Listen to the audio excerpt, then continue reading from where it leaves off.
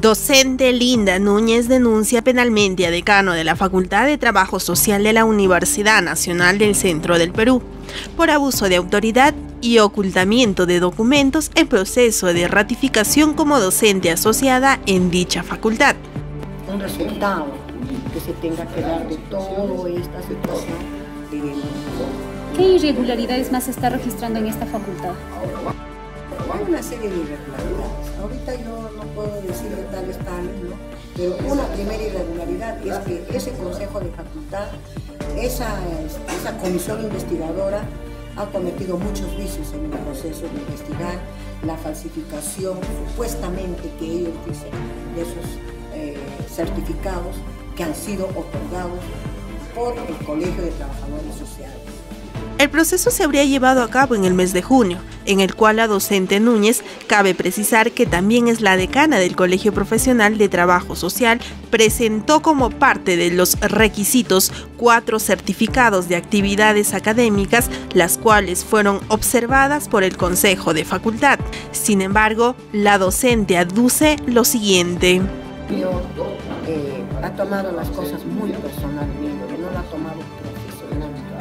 Una de las razones es todo el cuestionamiento que yo hice sobre los 50 años, las bodas de oro que hizo la facultad.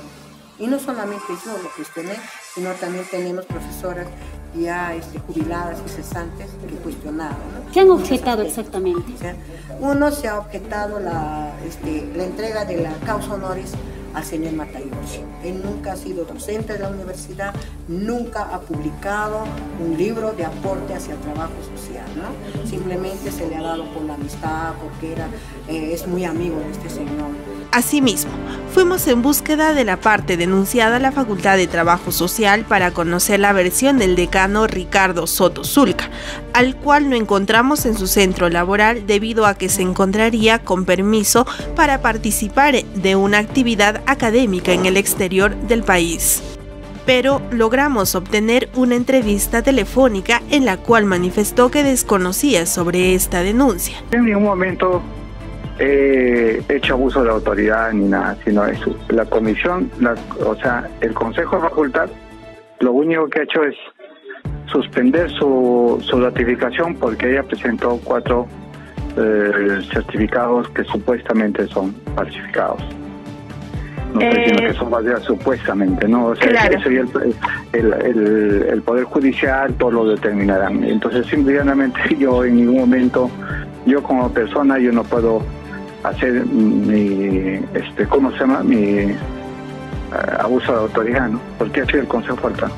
En cuanto al caso de presunto abuso de autoridad, refirió lo siguiente, negando la existencia de algún tipo de abuso de autoridad y mucho menos que se trataría de un asunto personal por discrepancias entre ambas partes.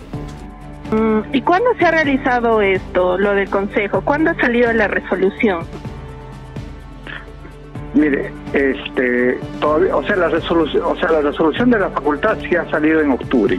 Mm, ¿Ya? Y entonces, entonces lo han visto en consejo y consejo ha dicho de que se le se entregue pruebas. Entonces se le ha pedido a la profesora, se le está pidiendo a la profesora que esos cuatro certificados sea autentificado por la universidad, este, Enrique Valle del Cacantuta y lo entrega y, y, si es correcto simplemente se le se le, se le ratifica no hay, no hay ninguna otra cosa. Por lo que manifiesta Soto Zulca, el procedimiento para la ratificación aún no habría culminado ya que se le habría otorgado hasta el 26 de noviembre a Núñez para autentificar los certificados que presuntamente serían falsificados ha sido la observación de estos documentos? ¿Por qué se presume su falsedad? Porque, la, o sea, le está diciendo, porque en las firmas no corresponden a esos certificados de una sola persona, en los cuatro son diferentes firmas. Eh, pero son de como de un una institución que realiza la universidad la universidad por eso le estoy diciendo es de la de la de, la universidad este mm, la cantuta. Ya. Esta universidad realiza cuatro actividades cuatro, eventos. cuatro eventos. Pero, Pero los certificados está un solo nombre en cada certificado, pero sus firmas no son no son iguales. No son iguales.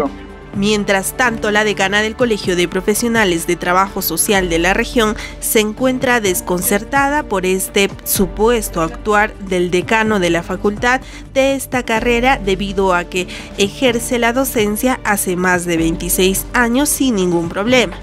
Sin embargo, esta vez la observación que habría realizado sobre la entrega del máximo reconocimiento de honoris causa a nuestro historiador huancaíno Nicolás Matayoshi por las bodas de oro de esta facultad habría provocado la discrepancia entre estos profesionales.